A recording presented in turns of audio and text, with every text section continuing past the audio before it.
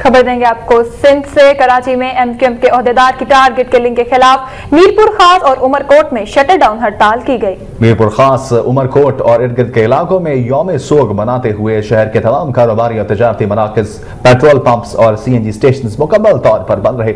शहर से आने जाने वाली तमाम पब्लिक ट्रांसपोर्ट मुकम्मल तौर पर बंद है। मीरपुर खास के साथ साथ कोट गुलाम मोहम्मद, छड्डो, डगरी और उमरकोट शहर के भी तमाम तजारती और कारोबारी मराकज बंद रहे, जबकि सरकारी और नीम सरकारी इदारों में भी मुलाजमन की हाजिरी इंतहाई कम रही, जबकि कई इलाकों में नामालूम अफराद की जानब से हवाई फायरिंग भी की गई।